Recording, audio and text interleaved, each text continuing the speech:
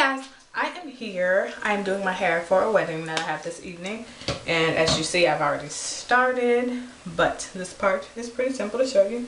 I parted a bang in a triangular type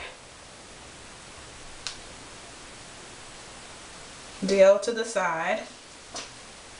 And then the back, I parted just a line across.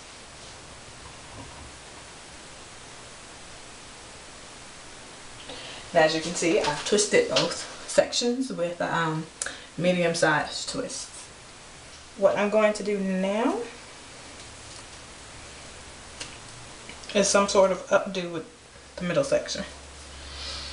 And before I did all that, I sprayed my hair with the water mixture. I did start with dry hair. Sprayed it with that. I then put Cantu Shea Butter leave-in conditioner on it. And then I use Eco Styler. No, that's not true. After the conditioner, I use Cantu Shea Butter Moisturizer, then Eco Styler. So yeah, to set my hair.